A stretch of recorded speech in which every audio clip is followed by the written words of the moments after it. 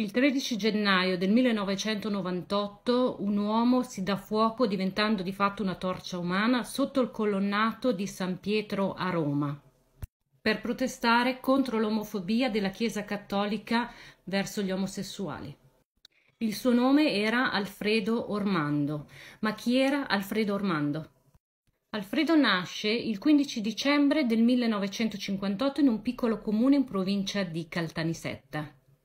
Nasce e cresce in una famiglia di contadini analfabeti, dove la sua omosessualità, che dichiara apertamente nel momento in cui la percepisce, non viene accettata né dalla sua famiglia né dal contesto sociale in cui vive. Profondamente credente se ne va di casa presto e cerca di emanciparsi attraverso lo studio, per cercare di scollarsi da quel destino che sembrava già fissato ed entra in un seminario francescano dove spera di trovare comprensione e conforto, ma così non è. Lascia quindi dopo due anni e comincia a pubblicare le sue poesie.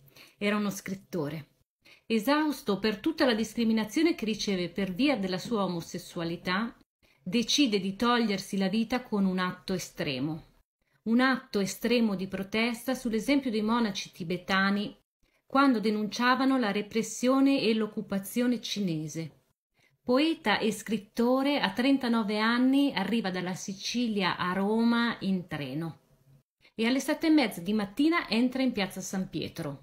Si toglie il soprabito, si cosparge di benzina e si dà fuoco. Morirà dopo dieci giorni di agonia senza mai riprendere conoscenza con ustioni di primo grado sul 90% del suo corpo.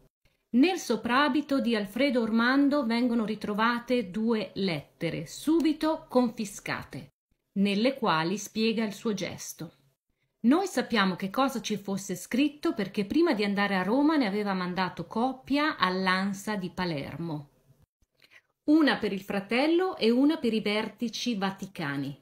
Ma la Chiesa, in un comunicato stampa diffuso poco dopo, dirà che la scelta di darsi fuoco di Alfredo era stata data dalla sua difficile situazione familiare, cercando di sviare il tema dell'omosessualità e la discriminazione da parte della Santa Sede.